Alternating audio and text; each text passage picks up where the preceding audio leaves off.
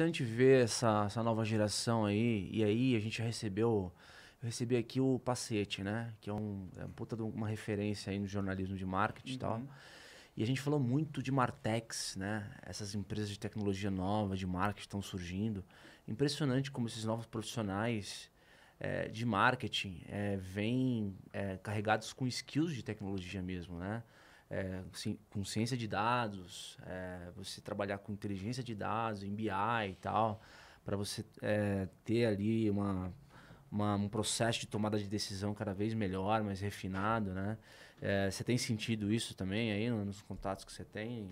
Em- as pessoas falando Cara, mais de eu- tecnologia? Eu acho que sim, porque você, você começa a ter um, uma coisa agora que é o nativo digital, né? Eu acho É. que você tem uma diferença de quem aprendeu marketing de um jeito e fez assim a vida inteira. E aí teve que adicionar elementos e de quem já nasceu numa realidade nova, diferente, né? Acho que que quem é nativo digital tende a olhar muito mais para isso.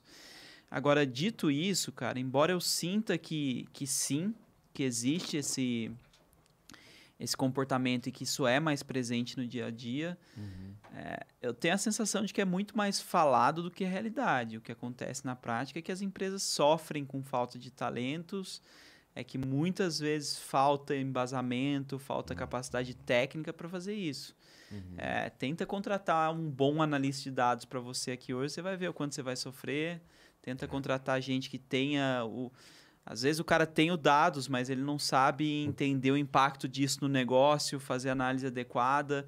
Esses cruzamentos, eles ainda são muito delicados. E eu entendo que a gente vive um apagão de mão de obra. Eu acho que isso é muito...